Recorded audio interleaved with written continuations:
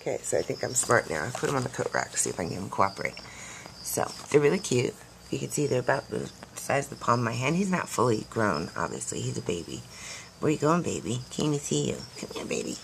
Come here. Let me get up here where I can see you. No, no, no, no, no. Not on me. Oh, shoot. Back on the, back on the coat rack. Okay. I wanted to show them your little flaps. So, people always ask, can they glide, can they fly? Here's what it is.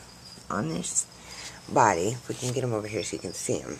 Silly. Get him over here somewhere where I can see you. Hey, hey, sit still. Right here on the sides, he has between his two arms this flap of skin that can fold way out in between the two arms. See how much you can.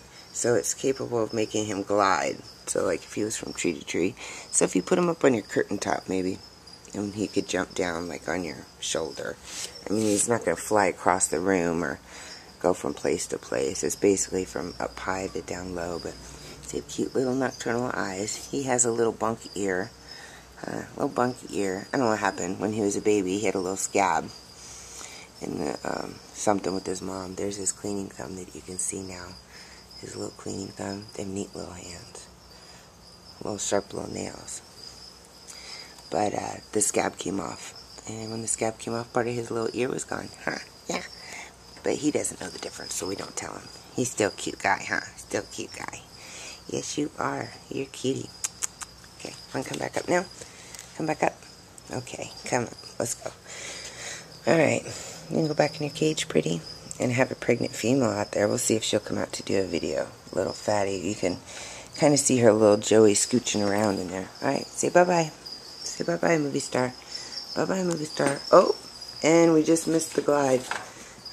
Dang it. See, you just went my arm, eh, like two feet, across the trash can and back to the coat rack. Come on, let's go back. Come on. That was pretty good. Come on. Will you want to do it again? Will you do it again for us?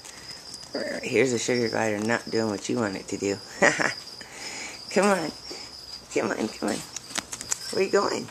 Where are you going? Oh, you're having fun. He likes the coat rack. Is there all kinds of fun stuff in there? Yeah, what are you doing? What's that?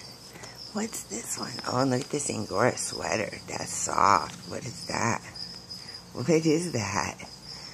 They're driven by smell. They're very curious by everything. They smell, smell, smell.